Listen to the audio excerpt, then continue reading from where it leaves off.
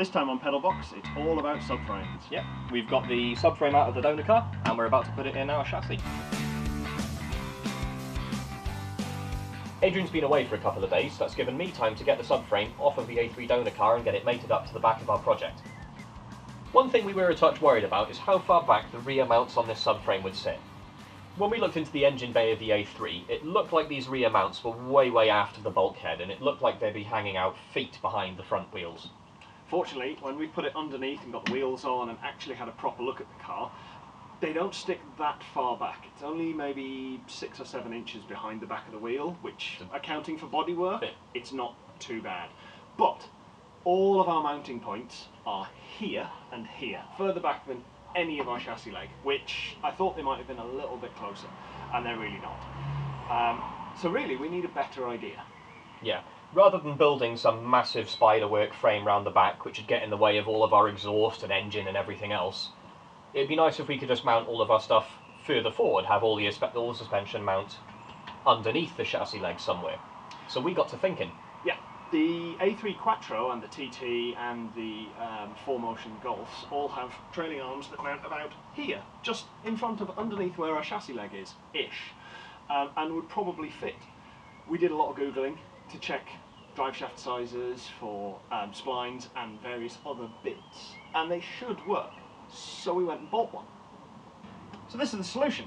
We have trailing arms, a centre subframe where a diff would normally go for the all-wheel drive, and it's a lot more convenient in a lot of ways, and in so many other ways, more of a pain.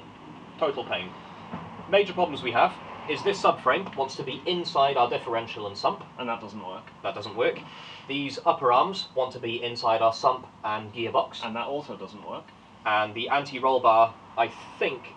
And no, actually, the anti-roll bar clears the, everything. The anti-roll bar is the only conveniently located piece on the whole thing, aside from this mount.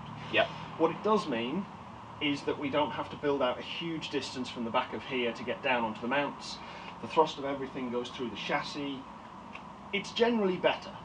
So this is roughly how we think it's going to line up. We've just got it all sitting a bit lower down than it really should be because we've got an engine in the way, which is a problem. We think what we're going to have to do is shorten our upper arms, and rather than have the pivot point at the end here way inboard inside our sump somewhere, put it somewhat further out so we've got like a sort of 8 to 10 inch upper arm or so. And the lower arm we can probably keep just about under the sump if we're if we if we push it some.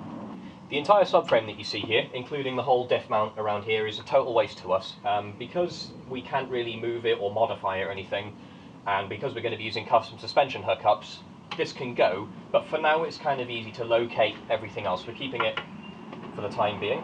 We've got our drive shafts here, which we're going to have to remove and replace with the front drive shafts to fit onto our diff, because obviously these are designed for a centre rear diff, and what we have is an offset transverse diff up here. But apart from that, this is looking pretty useful. So the next major win that we get from using these is the suspension turret.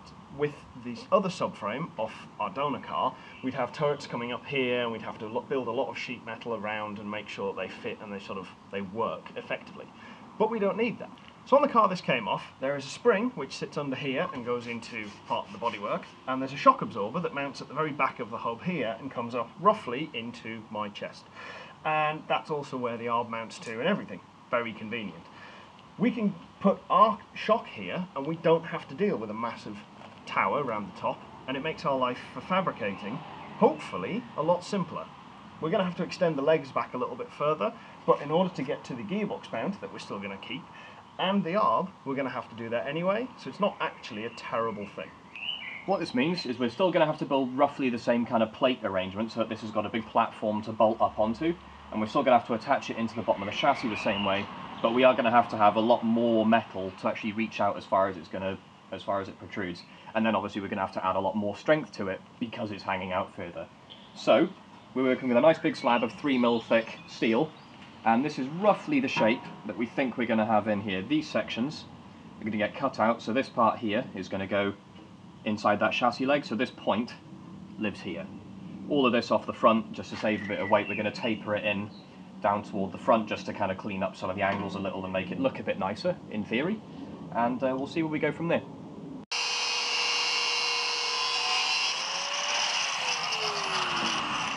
So because we have a one-piece hub and trailing arm, the position of this chassis mount dictates what toe we have on the drive. We need to keep this parallel because we want the wheels on the back going straight ahead because they're not steering, because we're not insane. That means we've had to make this jig up so that we can hold this parallel to the chassis leg and we can then work out where this needs to mount relative to the chassis leg onto this plate.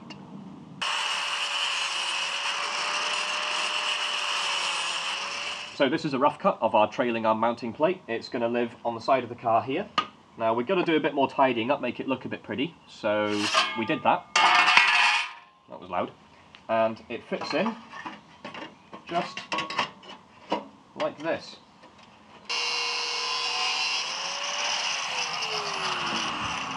This is the first of our new trailing arm hangers. It's welded onto the chassis fore and aft and all the way up the side structure here. And what bolts onto it here is the front end of the trailing arm. So all the way at the back there we've got the hub and that's where our coilover unit's going to bolt on to actually take the weight of the car. So the only force this should be taking is the acceleration and braking force for, forward and backwards from the wheel. So we've got a lot of strength forwards here. We've got this reinforcement strip across the bottom which should help keep it flat and stable. We've got a nice big vertical reinforcement plate there just in case we get any chassis twists that this is going to have to deal with. And I think it's looking pretty good on the whole. We're all done welding up the driver's side uh, bracket now, so we're going to move back the car a little. We need to extend out our chassis legs so that we can then build down our frame to take the lower suspension arms.